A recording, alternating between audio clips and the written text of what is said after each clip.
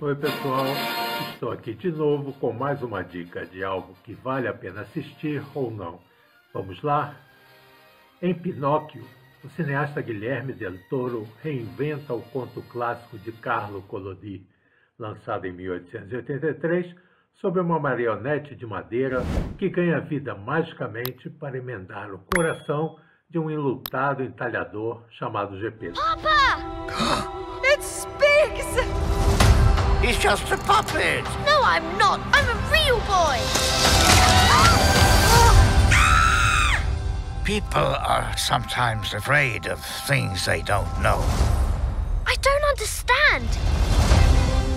Este musical caprichoso em stop motion, situado na Itália sob Mussolini, segue as aventuras e travessuras desobedientes de Pinóquio em sua busca por um lugar no mundo. Guilherme adotou as ideias básicas da história, mas a reinventa com muita criatividade, adotando um tom sombrio que tenha mais a ver com o original de Collodi do que com aquela sua mais famosa versão cinematográfica, a de Walt Disney, de 1940. Uma curiosidade, neste filme, Guilherme optou por, por dar o nome de Carlo ao filho falecido de Gepeto. Isto seria sua homenagem ao autor do conto original, publicado em capítulos semanais num jornal italiano, o Carlo Collodi. Outra curiosidade, Guilherme Del Toro, nenhuma relação com o ator Benício Del Toro, é um diretor, roteirista e produtor mexicano responsável, entre outros, pelo atual Gabinete das Curiosidades, série lançada este ano na Netflix, e pelo belíssimo A Forma da Água, de 2017.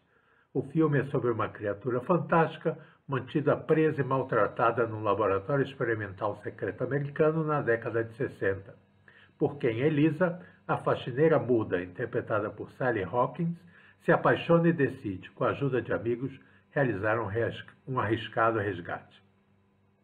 O filme foi premiadíssimo, além de dois Oscars por melhor filme de direção, ainda levou o Globo de Ouro e o Leão de Ouro no Festival de Veneza. Muito merecido. Na minha escala de avaliação, o Pinóquio de Guilherme Del Toro mereceu quatro quindins. A recepção do público e da crítica foi muito grande, como demonstram os números em dois dos principais sites especializados.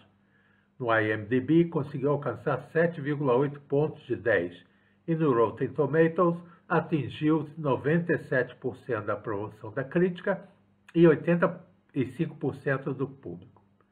Contribuem para isso uma estética primorosa, uma trilha sonora bastante agradável ao ouvido e a caprichada dublagem por artistas famosos, como por exemplo Ewan McGregor, que dá voz ao Sebastian J. Cricket, ou Grilo Falante, David Bradley como Gepeto, Christopher Wald, que é a voz do Conde Volpe, personagem que nas outras versões é uma raposa, e Kate Blanchett, que surpreende fazendo a voz de Spazzatura, o macaco ajudante do Conde. Este filme em stop motion, que levou mais de 10 anos para ser produzido, entre outros pela Netflix Animation e a The Jim Henson Company, a dos Muppets, é imperdível, mas não é recomendado para crianças. Bom, pessoal, vou ficando por aqui e até a próxima. Tchau.